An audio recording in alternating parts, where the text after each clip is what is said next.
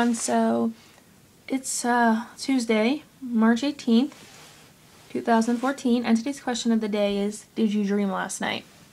Sorry, that line was bad. So don't forget to like this video, comment down below, and subscribe for more if you like what you see. Bye, see you tomorrow.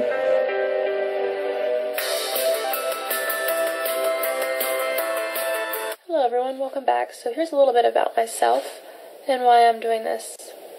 My name is Carolyn Holland. I am 21 years old. I am straight. I currently live with my parents in Delaware. I have two younger sisters.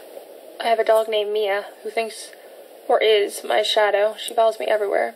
She's a Pomeranian mixed with something else. I am Mia's second favorite. That is after food.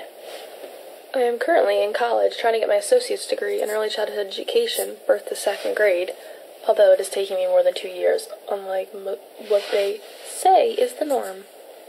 I am I am currently the Sunbeam teacher at my church. I am a member of the Je- Church of Jesus Christ of Latter-day Saints, aka Mormon. My favorite genre is romance. My favorite sport is basketball.